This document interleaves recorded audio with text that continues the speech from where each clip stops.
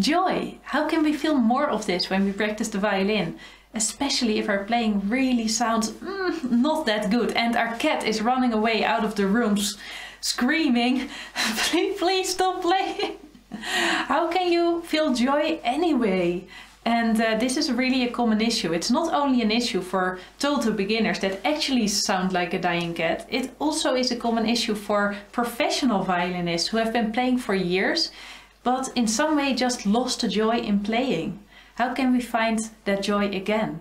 We all started playing with a reason. And normally it is because just our heart told us that the violin is something we really want to learn.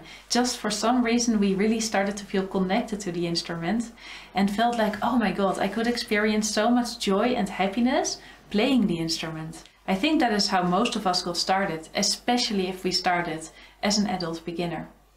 But still, it can be very difficult sometimes. Sometimes we start playing from this feeling of joy, but then we start practicing and we realize, oh my god, it is so difficult. I'm never going to learn this. We feel ashamed of the mistakes we make. Maybe we don't even dare to play for others because we feel like we should actually be better. We start beating ourselves up for how little we practice and how much more we should actually practice, especially to compensate for our lack of skills, and so on. We really have so much negative self-talk, especially as we grow older. We judge ourselves so much and it can be such a problem in our practice. Because in the end, why did we start playing? We didn't start playing to just feel inadequate all the time. We started playing because we saw something in the violin. We saw some light that it was going to bring to our lives. Maybe to enjoy music, just to enjoy being creative. Enjoy doing something with your hands and get out of your head enjoy playing with others. We saw something in it and how do we get back to that? I thought about it recently and uh, it has also been an issue in my life because so often I am only judging myself for what I all cannot do as opposed to enjoying what I already can do. But I do feel like I found a lot of joy back into my playing and lately I've been really enjoying playing the violin. So I feel like I'm in a position at the moment to tell you what you could do to feel more joy. The first thing that really helped me in feeling more joy in my playing is to stop trying to be the best. Stop feeling like you should be the best or one of the best. It is totally fine that most of us, even teachers, will always stay average violin players. We are not bad, but we are also not one of the best. And opposed to focusing on becoming the best and feeling inadequate all the time, we can focus on what do we want to create or what do we want to give with our violin playing? And this feels so, like such a more empowering question uh, than how can I become the best? Because I do think we are not all created to be the best. For instance, I realized myself that what gives me a lot of joy is to help others to learn the violin. And it really makes me so happy just to learn somebody a simple tune and see the happiness on their face from being able to learn it. And also what gives me a lot of joy is to play together with other people and to also provide that for other people, to let them play together and to see the joy of playing together. In order to fulfill my purpose in violin playing, which is really to help people believe in themselves and to show them what they can learn, to enjoy this joy of others learning and to also provide a space for them where they can learn and play together, I don't have to be a world-class performer. And maybe the same thing counts for you. Maybe it wasn't your goal to become a world-class performer and still we feel like maybe we should be. It is a weird thing because we all know we will never be, but at the same time we feel ashamed that we are not. It is really a weird thing. I think it really helps on the moment that we start to define our goals with our playing. What do we want? Why do we play? And that can be different for everyone. I mean, as a teacher, maybe my my reason is a little bit different than for somebody who's playing for joy. But in the end, it is all the same thing. We try to find some purpose into our playing. That can be helping others to learn, such as in my case, but it can also be to experience joy or to experience connection with other people or to express my creativity. There can be so many reasons to play and to really put that as a focus as opposed to becoming the best. Instead of asking, how can I become better? You ask, how can I create even more joy in my playing? For instance, if your goal is joy. Or in my case is how can I help even more people to enjoy playing the violin? And then maybe some other thing comes to your mind. And maybe the fastest way to achieve it is not only becoming a better player. Maybe that is what you think. But look at great players, great violin players. In fact, I know a lot of really, really good musicians around me. I know a lot of music teachers and a lot of performers, a lot of people who are great violinists. And I can tell you, most of them feel inadequate. Just let that sink in for a moment. All of us feel inadequate including me, including people who are even way better than me. And I don't know, I don't know any world class performers personally, but maybe even they see what they are not doing right yet in their playing, or maybe feel inadequate in certain aspects of their playing. I don't know, but what I do know is that being the best isn't always a beautiful goal to strive for, and that we can set ourselves other goals, and often they are a lot easier to achieve. For instance, I want to enjoy playing with others on a jam session is so much easier to achieve than I need to become better. We will never achieve our goal to be better because there's always another better. And that is what I realized. And please believe me, I've been playing for 16 years. And at some point, I thought that if I would be playing like I would, I'm playing today, that I would be happy with it. But it's not the case. There's always a better. And the better you become, the better you realize how much you have to improve because you start to see all the details. And the more details you see, the more improvement is possible again. So there will be never a moment where you feel like uh, you should not become better. If your goal is only to become better. So adjust your goals from becoming better to something which is actually achievable and maybe which is really in your heart. Because I don't think you started the violin to become better. You started because you wanted to play a beautiful song and enjoy it. And that is possible for anyone. Another thing to start doing in your practice is to focus on your feeling. We all the time are scanning for mistakes, and I know this is one of the ways to become better at violin playing, but sometimes we forget to feel. And feeling is actually a very important part of playing music. This is not only feeling and listening, but it is also feeling our body while we are playing. And sometimes we feel how tense we feel. How can we feel more relaxed? I think one of the ways to experience more joy is to relax our bodies. To really just feel your arm and realize how tense it is and just relax it. And it will feel so much more relaxing and enjoyable to play if we are not tensing ourselves up all the time. So try to relax your body consciously when you are playing. Another thing to do, and what I did for my violin playing, is to make a fun list. What fun experiences do you want to have in your life with your violin? For me, that was a lot centered around playing with other people because this is something I really enjoy. I created a list like I want to play, I want to join a music camp, I want to play in an orchestra, I want to play with other people around a campfire. I had all types of goals that are like this. And sometimes it is also specific pieces like, oh, I would like to play this piece. And that we focus more on the enjoyment of that as, as opposed to, oh, I want to play at a bonfire and I want to play perfectly. Or I want to play this piece and it should be absolutely perfect. I mean, maybe make the goal a little bit more light. More like, oh, it would be so nice to play this piece more or less and just enjoy it for the fun of it. So this is another thing you can do is to create a fun list. What fun experiences do you want to have with your violin? Which are not necessarily the fun experience of playing perfectly, because that is really going to make you very sad, because that is never going to happen. and, and, and focus on the type of experiences that you would like to have with your violin and starting to create that into your life. Another thing that helps me is to have more happy thoughts in my practice. So, for instance, of saying, This is so hard, I can never do it, is, Wow, I'm so proud of myself that I'm challenging myself. That is such a different feeling. I'm so proud of the challenge that I'm undertaking myself. And you can be proud of the challenge you are undertaking. You are one of those people who is practicing the violin and trying to make something create something beautiful in your life by by learning a new musical instrument. And a lot of people don't go for that. A lot of people maybe watch Netflix all day long and they are not trying to create as much joy in their lives as you and maybe not challenging themselves as much. And I think that through this challenge you are going to create a lot of interesting experiences.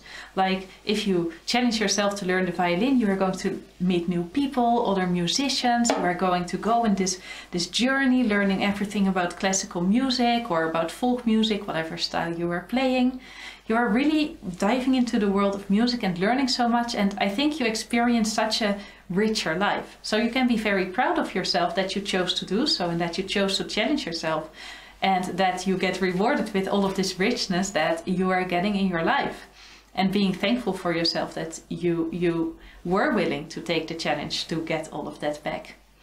Also another thing is I have to. To not use I have to too often. I have to practice more. I have to play this better. It feels very dark sometimes to say to yourself I have to. It feels so much lighter to say I want to. And frankly, that is the truth. No one in this world has to practice. No one. It doesn't matter at all if you do not practice. You will be able to eat you will be able to have a roof over your head. It's not that you will die if you don't practice. And even if you are a teacher like me, maybe in that case you, you might be like, oh, but I do have to practice because otherwise I will lose my job. I mean, yes, that's true. but you don't have to, you choose to. You want to practice because you love this job so much that it is worth it to you to practice for it that that is a different feeling. I want to practice because I want to be a violin teacher as opposed to I have to practice. Be because in the end it's a choice. You made the choice to become a violin teacher. You made the choice to become a violinist. And wherever you are, you, you chose it. And this is something to acknowledge. And that really makes you so much happier to actually acknowledge that it was a choice. And this is something you want. Because it is better for your life if you do it than if you don't do it. Another way to experience more happiness in your day-to-day practice is to start celebrating small wins. So often we focus on really big goals. For instance, so many of my students start learning and they are like, oh, I want to learn Vivaldi Four Seasons. And then you're like, okay, but that will take you like years before you will play it. And then until you will play it in a way that you are actually content with, it will take even more years in the end, it can take forever to learn Vivaldi Four Seasons and maybe you will never feel really happy about the results. But on the moment you start celebrating small wins as opposed to only having this big goal and being unhappy until you achieved it, that will really spark up your practice and actually help you to achieve the goal more easily. So the type of things I wanted to celebrate is, for instance, my bow hold is a little bit better than yesterday because yesterday I was holding it like this all the time and today I played for like one minute like that. That are the types of improvements to celebrate. Or maybe your fourth finger sounded a little bit less out of tune. It is really focusing on the small things. And I noticed this with a lot of my violinist colleagues, is that they focus on very small things. A lot of violinists that I know that do this professionally are very perfectionistic and they have a tendency to focus on very, very small things. For instance, on one note and the way it is played. And that also causes them to maybe feel more happy in their practice sometimes, because they can actually be happy with one note that sounds 5% better. And they are like, wow, that sounds so much better. And then they get enthusiastic, you know, they are like, wow, that sounds so much better. And they want to continue. I think this is one of the keys to enjoy it more and in the end also become a better player, is to enjoy these very, very small, almost unnoticeable improvements. I think sometimes maybe a violinist would practice and they would feel like, wow, I made so many improvements and if somebody else would be listening to them, maybe somebody who doesn't play the violin would not notice any difference. And that is because they focus on the small things, not on the on the, the bigger picture. Maybe if you are not very musical, you wouldn't even hear what they have changed about it. But for them it feels very big and they celebrate it. So that is another thing to do is to celebrate your small wins, to celebrate the small victories that you have in your day-to-day -day practice and to really be proud of yourself for these small wins that is in the end what practice is about. It is about these small moments of happiness, small moments of, wow, now I am getting this. Maybe this is also what life is about. I mean, if we knew everything from the start, if we were a baby, we came out of the womb and we knew everything, how boring would life be, right? You would know everything from the beginning until the start. I think the fun thing about it is to explore. And we, we are like this little adventurers on our violin journey. And we are discovering new things about violin playing every day. And to really find the joy in that in discovering like this very, very small thing. So, oh, that you could place your finger a little bit higher and then it sounds a little bit better. Another way to experience more joy is something that I already shared briefly before, and that is playing with others. And that can be in all forms. It can be in an orchestra. If you're a higher level, you can play in jam sessions. You can play even practice together, like my members at Julia's Violin Academy do in their practice sprints. So they meet up every day on Zoom, three times a day, there's different time zones and uh, they practice together and they are having fun doing it they are making friends they are enjoying themselves it is not only practice it is also a social gathering and of just playing together and i think this is an aspect of music that is very very important and a very big part of the light that music may bring to this world if you think about music as, as kind of a light that cheers people up this is how i see music sometimes then I think a big part of it is playing together and enjoying music in a group. And you see that people go to festivals and enjoy music together, and they play together and enjoy music together. Music is a very communal activity in a way. And how can you create more of that in your life? How can you create more community around music? Maybe by practicing with others on Zoom. I mean, at the moment that I'm recording this video, we are in the middle of uh, Corona lockdown. But maybe if this is over, you can also meet up with people in real life and practice with them together to enjoy that aspect of music. Another thing that helps me to enjoy music more is to help others. To find a way in which your music can help others. Because this really takes the focus away from you. You as being imperfect and needing to be better, and you are focusing on someone else. How can I help this person with my music? And sometimes it might feel very far away, especially if you don't have very high skills. But actually you can already help a lot of people and it would actually surprise you. It would surprise you how many people would get inspired, for instance, to do something else with their life than watching Netflix if they see one of their friends practicing the violin and be like, wow, that is so inspiring. And at the same time, also, for instance, giving your violin to someone else and letting them play on it. Just, just showing them a few basic things. That can be such an enjoyable feeling. It really makes you happy to see music more as a tool, maybe, to help others and to think about the ways in which your music could also support others. And maybe that could be in very small ways. For instance, it might be that you are very often very stressed out. And when you are playing music, it really relaxes you. And in that way, you are really helping your family with playing music because you are not only relaxed more yourself, so that you are more enjoyable to be around, but you also show them tools to relax. So, for instance, if they would feel stressed, maybe they would think about picking up an instrument and enjoying to play it. Or maybe you are inspiring your children to start playing music early in life and maybe have some great experiences with music. For instance, I am very, very fortunate that I had the ability to start playing music as a child. And I would say my life would have been completely different without it. And I made so many friends and so many beautiful experiences through music. And in the end, th that is what we do this for, right? For the beautiful experiences that music brings to our life. Especially if you are a better player, maybe this is something to focus more on. Like, how can I help others as opposed to, you know, if you are a violin teacher watching this video, this is really something to focus more on how am I helping others and how can I help them more? And very often you realize it's not only about your skills and getting better. Because to be honest, most of the students that you will teach will be very glad to play like you. So they don't really care if you are like 10% or 50% or even 100% better. But they do care about enjoying music themselves and having this great experience of music in their lives. And how can you bring more of that to them? More of this joy, more of this learning and enjoyment. And so often it is not about our playing, and it is about something else.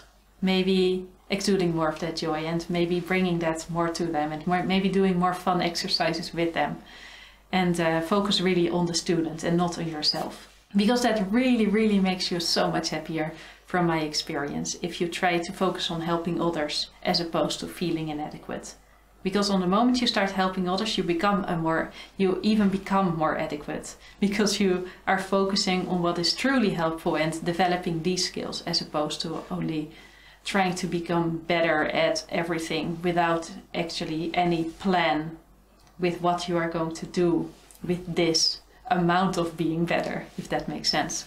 Yeah, these are just some of my thoughts. I really hope that maybe one or two or some of these thoughts helped you to enjoy more fun in your violin learning. And I also would love to open the conversation because it is also an ongoing feeling for me. Like, how can I create more joy and how can I find that balance between wanting to improve and be a better teacher? I think a part of being a good, a great teacher is also to become a great violin player. And so this is a part that I would also focus on, like how can I become a better player, but also not to to let this completely overtake you and feel like you are missing the joy in playing, which maybe even makes you a worse teacher on the moment that you forget this joy. And also as a player, that you started playing to have fun. And how can you can you balance like having fun by also and also learning new things and having that that feeling of accomplishment of learning new things that you are also looking for and balancing both of those out. I would really like to hear from you in the comments. What is helping you to experience more joy? Did it resonate with you, or maybe don't you agree at all? Do you feel like, oh my god, this um, this is really not helpful to me at all? I, I just would like to hear from you because I think it is a topic we don't often talk about in the violin community. It's often like practice, practice, practice, practice more. You are not good enough, practice even more. You know, especially in the classical world, it can be pretty harsh, always feeling like inadequate and feeling like we should be better. And uh, yeah, let's open the conversation. How can we feel more joy and how we can we support each other in that as well? How can we as violinists maybe judge each other less and open ourselves up more for how we can all experience more joy and how we can also support each other in that experience of joy. I would really like to hear your thoughts and I'm very interested to read your comments on this video. So please comment and let me know what you think. And um, yes, for weekly violin lessons, if you want to improve with violin playing, you can of course subscribe to this channel, especially if you're a beginner level player, you will learn a lot over here. So enjoy your day and um, enjoy your practice today. Bye bye.